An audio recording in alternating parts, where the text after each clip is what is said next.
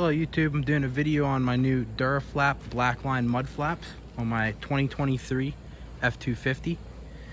Here they are. On the rear, I got the 12 inch wide short with the uh, mirror finished weight.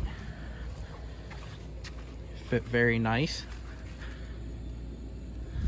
Have great coverage on the truck.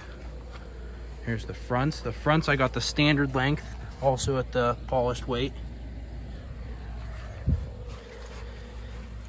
Fit great on the truck. I ended up getting rid of the OEM mud flaps because they wore through the paint.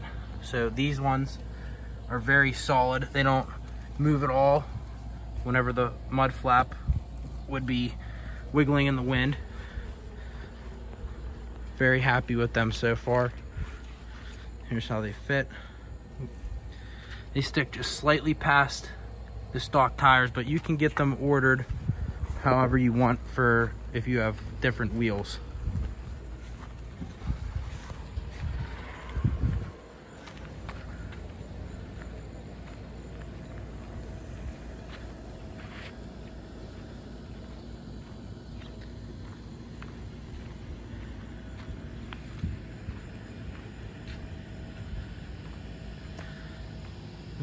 There you go. Uh, thanks for watching.